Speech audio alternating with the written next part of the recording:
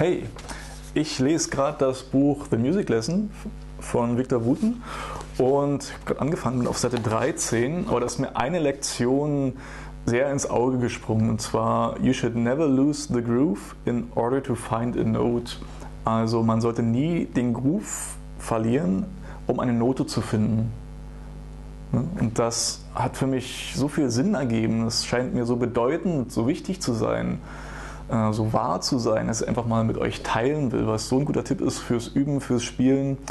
Ähm, auch äh, ich habe das jahrelang falsch gemacht, dass ich immer den anderen Sachen Priorität ge gegeben habe und mein Rhythmus war früher nicht gut. So, ich habe in den letzten Jahren extrem daran gearbeitet und das, glaube ich, ziemlich gut hinbekommen. Ne? Und ist natürlich noch Raum nach oben hin und ich arbeite wirklich ganz viel gerade an, an den Geschichten. Ähm, ja, deshalb will ich das einfach mal mit euch teilen. Und meiner Meinung nach sind auch wirklich, das ist eine Sache, die die sehr guten Musiker ausmacht, ist wirklich das Rhythmusgefühl. Ne, selbst wenn sie jetzt nicht auf dem Raster wären oder wenn sie da eher laid back oder in Front sind oder schwimmen, ne, äh, die richtig guten Leute haben trotzdem ein Gefühl für den Puls und können das dann einsetzen. Ja, ähm, bin gespannt, was Viktor dann darüber schreibt. Ich habe, wie gesagt, erst äh, diese Überschrift gelesen. Aber ich wollte es gleich mal mit euch teilen. Okay, macht's gut.